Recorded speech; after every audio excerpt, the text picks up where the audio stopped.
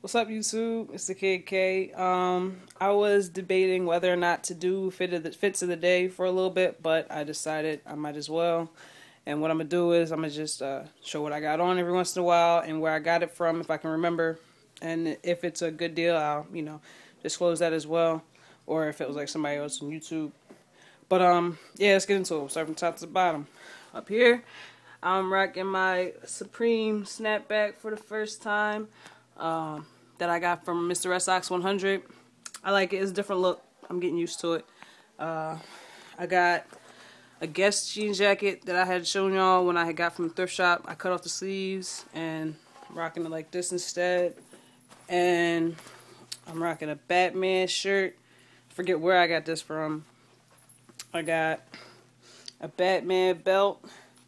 Nice little buckle joint. It was like five bucks from that place where I got my G-Shock from recently.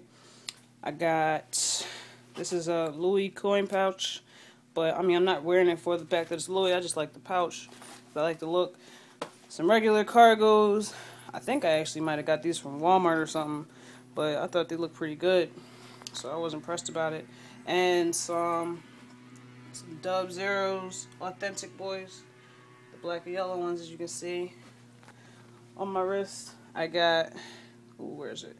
I got, uh, just my all black LED watch, which is uh, pretty nice, and a black bracelet, and then I got all my regular bracelets on this side. This one's from Daily Extreme, and the other ones are just ones that I got together, you know.